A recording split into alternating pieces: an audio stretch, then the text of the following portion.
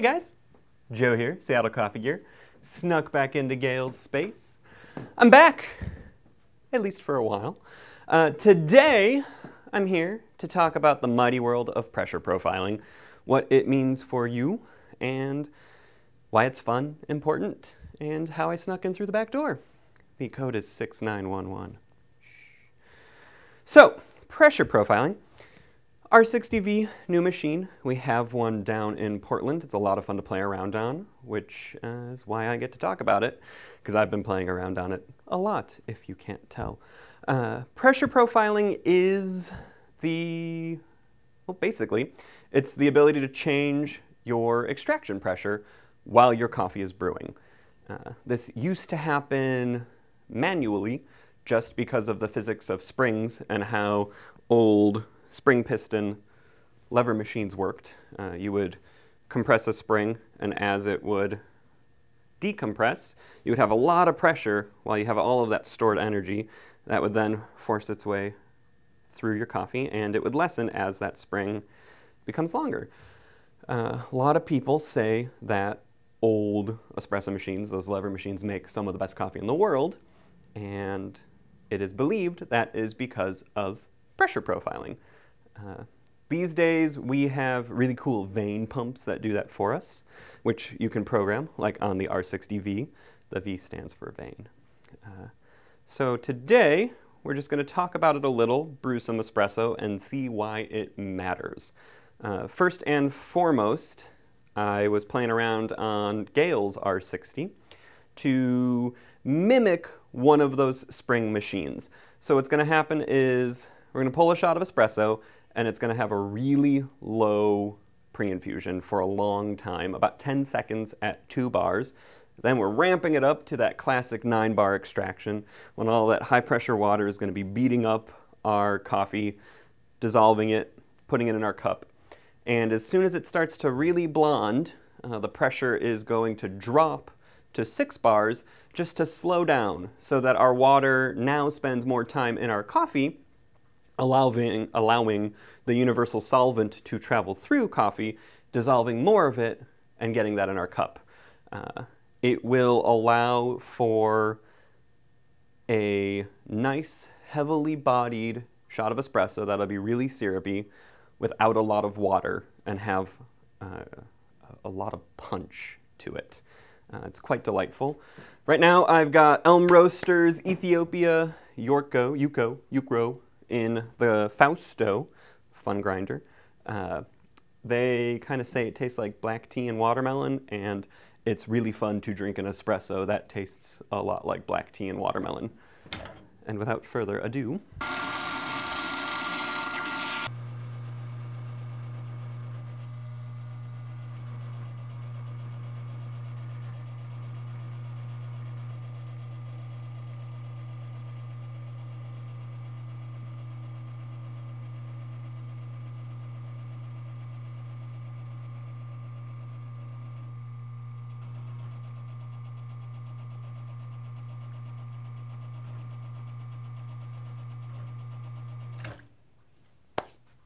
All right.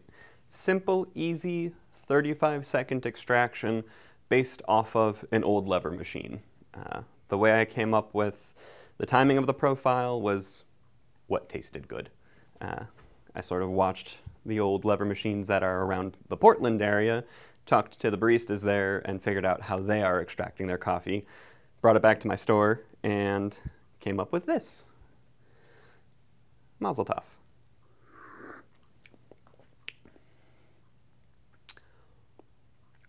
It's a lot of flavor in a very short sip. Uh, it's quite jarring, but not in a bad way. This is a really light Ethiopian. It's a single origin, which I generally don't like as espresso just because I really like them as pour over, as we know.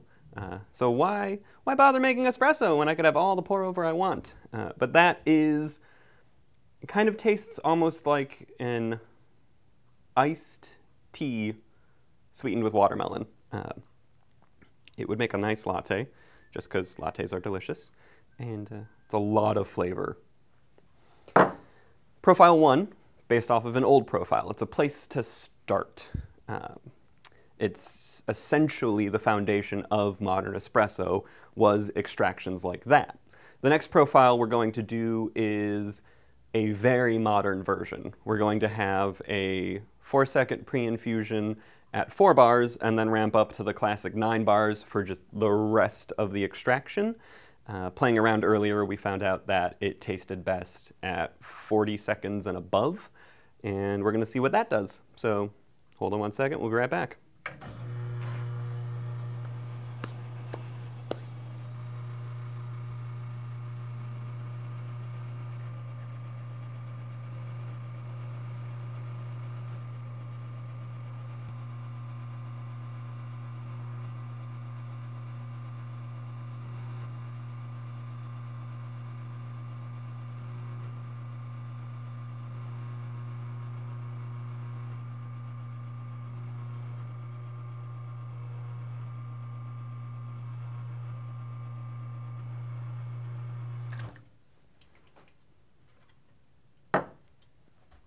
Little bit more classic looking with that espresso, or modern classic. Nouveau.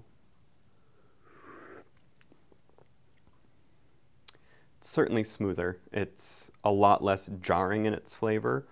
Uh, it's also less intense. So if I were to make a latte out of this, I think I would like that first flavor profile more. Uh, I would get more of that flavor of good milk through that first profile because I'm not diluting it with the remnant water that's in here. Uh, however, this is a lot nicer to just sip on. Uh, that watermelon flavor that is really natural in this uh, coffee, it lingers in the mouth nicely with this version, whereas the other one, it had a, a slightly steeper cutoff in flavor, whereas even now it's still going on, and I like it a lot. Uh, two basic profiles to start with. If you have an espresso machine that is capable of pressure profiling, I do suggest playing around on it. Uh, you give yourself a foundation. You can either try that intense, heavily bodied shot of the past or the newer, smoother shot of Futures, uh, Future Espresso, and play around. Like figure out what makes the best pre-infusion for you how long pre-infusion should be for you, and then how long your extraction should be. And keep it simple. You have to play around. There is no right answer. If we put a much darker coffee in here, something that is naturally softer, uh, it will dissolve more readily. Therefore, my extraction will be quicker by nature of what espresso is. So that first profile might work better just because it is designed to dissolve more coffee better, uh, faster. And you know, if we have denser, lighter roasted coffee like this Ethiopian, uh, some blends out there are very light, very dense, high altitude coffees. Uh, a longer profile might be better for them because it's denser. There's more cellulose structure to the coffee bean, so we need to figure out how to dissolve it properly to make it taste good for you. Uh, it's really easy to pull a terrible shot with pressure profiling, which is why I suggest starting at either a standard 9-bar extraction with pre-infusion if you want, or figure out your style of old school lever style machines. Uh, we were doing two bars at 10 seconds, uh, nine bars at 17 seconds, and then finishing with a six second extraction to get the yield we wanted. I stopped it at 35 seconds on that run. It tasted great. Uh, as does this one, which we stopped at 45 seconds. So play around, have fun. In the comments below, if you have the pressure profiling capabilities, tell us what you like, what coffees you're drinking, what they taste like and uh, have fun. See you next time.